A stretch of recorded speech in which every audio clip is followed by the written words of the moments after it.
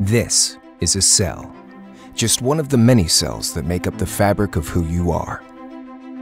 From the cities we live in, to the air we breathe, and the food we eat, our environment plays a critical role in the health of our bodies, all the way down to the cellular level.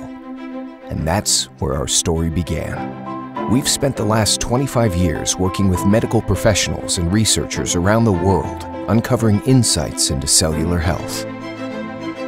Welcome to the future of health, where we stop treating symptoms and start looking at the bigger picture. We create products with one thing in mind the cell, the body, your health. This is BodyBio.